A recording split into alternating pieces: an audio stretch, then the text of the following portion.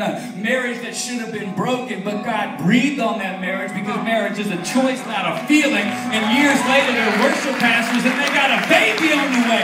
It's a scandal. You understand what God's doing here? You know what that cross was about? That scandal's for you. Tell the story about what Jesus can do. Maybe someone in your life seems really far from God. Anybody in here loves somebody who doesn't know Jesus yet? Give me a wave. Often the devil will try to trick you. It is too far. That person's way too far gone. I mean, God can save some people, but that person's really bad. If he ever gets baptized, you have to hold him down for a while. I had a friend like that. Let me tell you the story about Devin.